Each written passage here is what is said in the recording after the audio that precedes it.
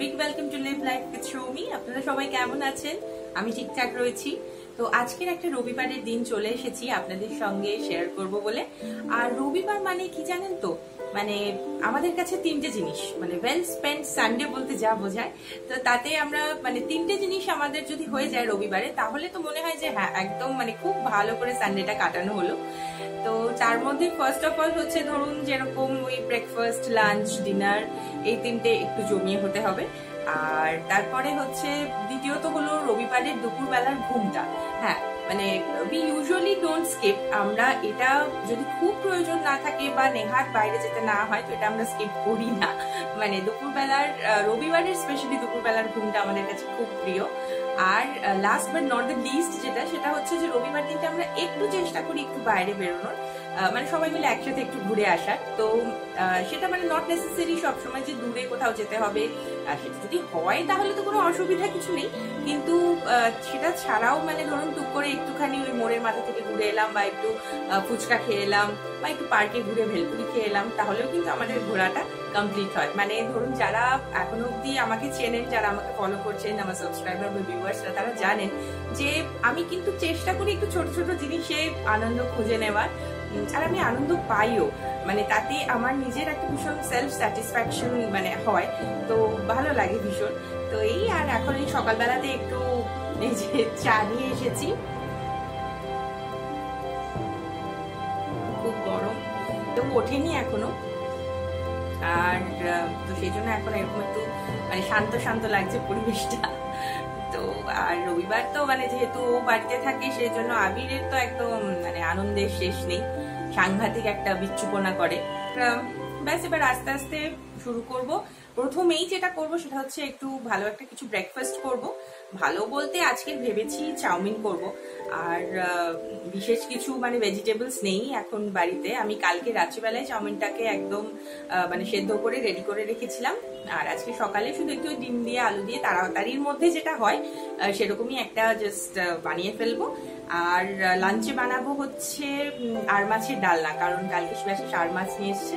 তো এখন দেখবেন বর্ষাকালে আর মাছটা খুব ভালো পাওয়া যায়। মানে ইলিশ মাছটাও পাওয়া যায়, আর মাছটাও দেখবেন ভীষণ ভালো পাওয়া যায়। আপনারা হয়তো অনেকেই অলরেডি এখন আর মাছ খাওয়া হয়ে গেছে।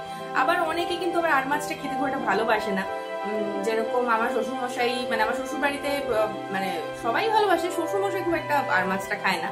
আর আবার আমাদের বাড়িতে আবার মানে আমরা আর মাছ ভীষণ ভালোবাসি। আর আমার হাজব্যান্ড বা আমার ছেলেও আর মাছ খেতে খুব ভালো লাগে। তার স্পেশালি একটা কারণ হচ্ছে যে আর মাছটা কাটাটাও কম। তো, আর এমনি তাছাড়াও টেস্টটাও ভীষণ ভালো লাগে। তো এই তো এখন সকালবেলায় একটু চাটা খেয়ে নেব।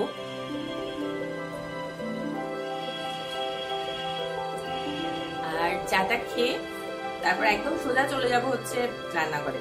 একদম প্রথমেই ব্রেকফাস্ট বানিয়ে নেব। চেষ্টা করব তাড়াতাড়ির মধ্যে লাঞ্চটাও বানিয়ে ফেলার। তাতে কি হয় বলুন তো মানে বেশ কিছুটা সময় ফ্যামিলির সাথে কাটানো যায়, গল্প করা যায়, সকাল সকাল রান্নাটা করে ফেললে। তো এই চলুন এবার আস্তে আস্তে করব, তখন তারপরে দেখাবো। ও হ্যাঁ আর একটা কথা হচ্ছে যে আমার একজন বন্ধু আমার কাছে জানতে চেয়েছিল যে আমি মানে কীভাবে ভিডিওগুলো শুট করি, ক্যামেরাতে করি না মোবাইলে করি। তো ভাবলাম যে আমি একটা ব্লগে বলেই দেব। সেটা হলো যে আমি মানে যখন যেরকম সিচুয়েশন হয় সিচুয়েশন বেসিসে আমি শুট করার চেষ্টা করি। তো সেটা ক্যামেরাও হতে পারে, মোবাইলও হতে পারে যে কোনো কিছু হতে পারে। তো সেটাই মানে সিচুয়েশনের উপর ডিপেন্ড করছে যে আমি কিসের ওপর ব্লগ করছি মানে কিসের কি দিয়ে শুট করছি। তো ব্যাস এই, এটাই বলার ছিল। তো ঠিক আছে, চলুন এবার আস্তে আস্তে কাজগুলো শুরু করি আর আপনাদেরকে দেখাই। তো এবারে চটজলদি হয়ে যাওয়া সেই চাউমিনটা বানিয়ে ফেলছি। চাউমিনটা তো আমি বললাম যে আগের দিন রাত্রেই আমি সেদ্ধ করে রেখে দিয়েছি। আর আজকের চাউমিনটা বানাবো কিন্তু আমি সর্ষের তেলে। আর ধরুন, অনেক সময় বাড়িতে তো সবজিপাতি কিছুই থাকে না। অথচ মানে একটু একঘেয়ে রোজকারের যে ব্রেকফাস্ট সেটা খেতে ইচ্ছে করছে না। তো তখন কিন্তু মোটামুটি আলু, পেঁয়াজ আর ডিমটা বাড়িতে থাকলেই হবে। সেটা দিয়েই কিন্তু খুব ভালো চাউমিন বানিয়ে খাওয়া যাবে। আর যারা সস পছন্দ করেন, তারা সস নেবেন। অনেক সময় এটার উপরে পেঁয়াজ কুচি শশা কুচি ছড়িয়েও খেতে খুব ভালো লাগে। তো আজকে সর্ষের তেলে বানাচ্ছি মেনলি আর সর্ষের তেলেও বানিয়ে খেয়ে দেখবেন খেতে কিন্তু বেশ ভালো লাগে। প্রথমে সর্ষের তেলের মধ্যে ওই আলু, পেঁয়াজ, কাঁচা লঙ্কা আর ডিম দিয়ে ভালো করে নেড়ে চেড়ে ভাজা ভাজা ঝুড়ো ঝুড়ো করে নিতে হবে। তারপরে একদম প্লেন অ্যান্ড সিম্পল চাউমিন যেরকম হয়। মাঝে মাঝে তো এটাকে আমি পাইকারি চাউমিনও বলে থাকি। তো সেই রকমই বানিয়ে ফেলছি। তো ব্যাস, এবারে চাউমিনগুলো দিয়ে ভালো করে নাড়াচাড়া করে নেব। আর নামানোর আগে একটু স্বাদ মতো নুন আর একটু বেশি করে আমি গোলমরিচটা এটার মধ্যে দিই। আমার খেতে খুব ভালো লাগে। তো ব্যাস, তারপরেই রেডি হয়ে যায় চাউমিন। এবারে গরম গরম সার্ভ করুন আর এনজয় করুন। মানে একঘেয়ে স্ন্যাক্স বা একঘেয়ে টিফিনের থেকে অনেকটাই আলাদা, খেতে লাগে। তো ব্যাস, এখন মোটামুটি দেওয়া হয়েই গেছে, সমস্ত কিছু ভালো করে নেড়ে চেড়ে নেব, নিয়েই সার্ভ করে দেবো। তারপর ব্রেকফাস্ট করে দেখা করছি।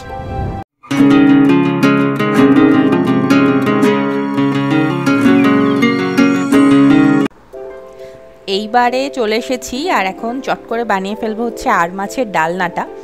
আর আর মাছের মানে ঝোলের থেকে ডালনাটা বেশ মাংসর মতন কষিয়ে রান্না করে খেতে কিন্তু খুব ভালো লাগে।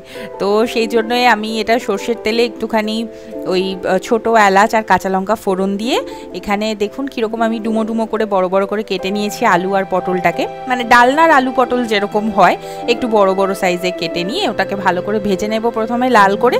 তারপরে এবার ওটার মধ্যে পেঁয়াজ কুচি তারপর আদা, রসুন বাটা সবই পড়বে, কারণ একদম মাংসর মতন কষিয়ে আর মাছটাকে রান্না করলে খেতে মানে বেশি ভালো লাগে বলে ওটা সবই পড়বে। আর এখানে আমি আদা আর টমেটোটাকে একসাথে বেটে নিয়েছি।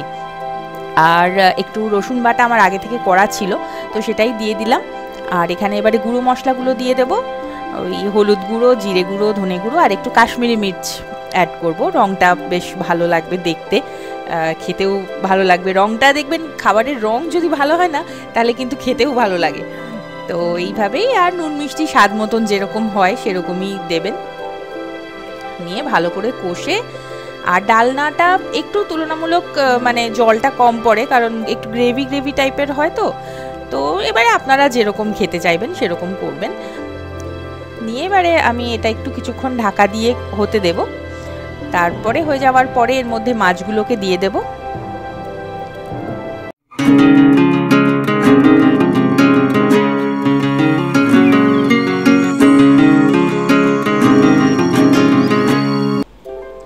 আর শেষমেশ মানে রান্নাটা যখন একদম হয়ে আসবে, তখন এটার মধ্যে আমি একটুখানি ঘি দেব। তো ব্যাস, তাহলেই রেডি এবারে লাঞ্চ করে নিই। একদম দেখা করব বিকেলবেলা।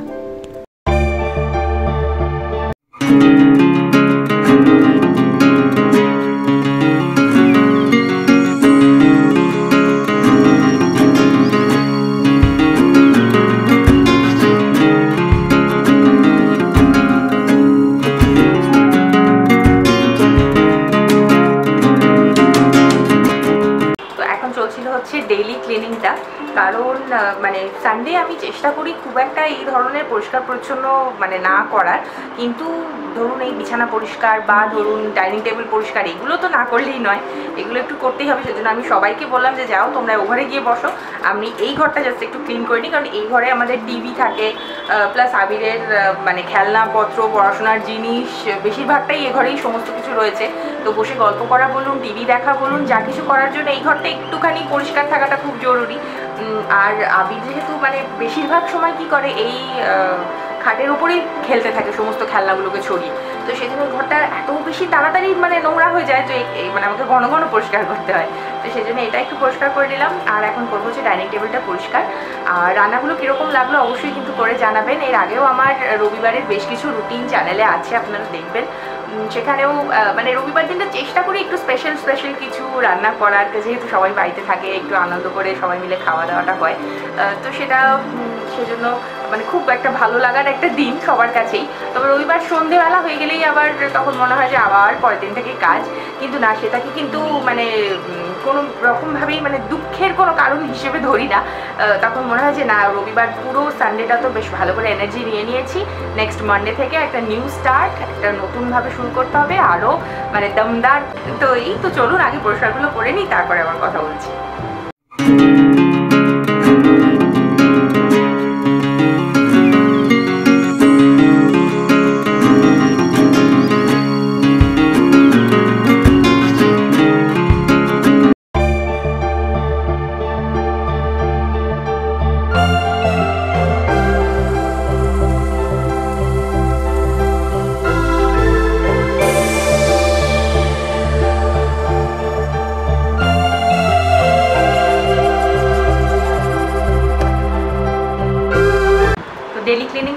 কমপ্লিট করে ফেলেছি। তো এইবারে আপনাদেরকে একটা জিনিস দেখাই। তখন ডাইনিং টেবিলে আপনারা দেখেছেন, নিশ্চয়ই মনে হচ্ছে যে এটা কি কি কি?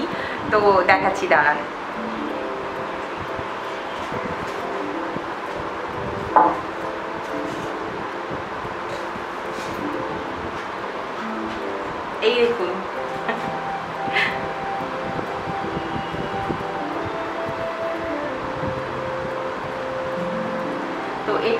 জাস্ট একটা পুরনো একটা ডাল মানে গাছের ডাল। তো এটা শিবাশিস সেদিন অফিস থেকে আসার সময় রাত্রিবেলা নিয়ে এসেছে। রাস্তার ধারে পড়েছিল কিছু না কিছু এবার এটাকে একটা ডিআইওয়াই করতে হবে।